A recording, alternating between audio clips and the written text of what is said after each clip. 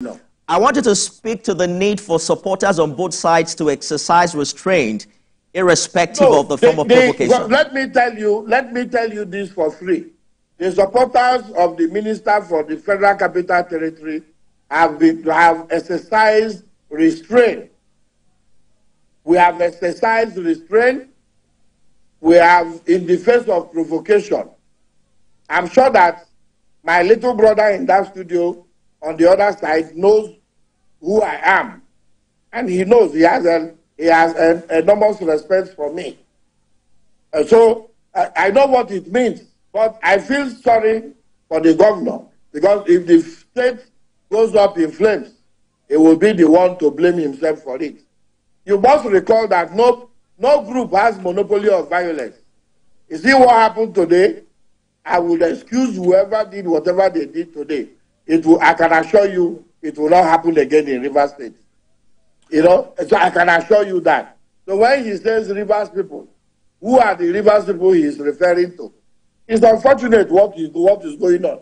That people who want to become wannabes are cashing on on the situation in the state. People who want power by all means.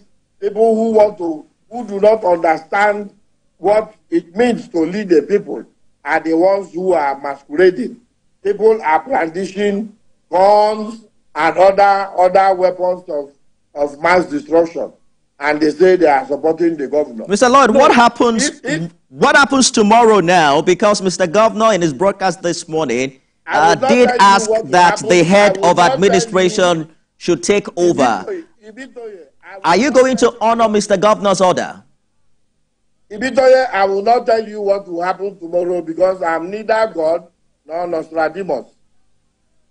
I'm neither God nor Nostradamus. No, the question I'm asking us, can assure you the question I'm asking really is, are you and your colleagues willing to step down as chairman as of today? Ibitoye, we cannot step down. We have said so. It is clear to, it is audible to the deaf and visible to the blind.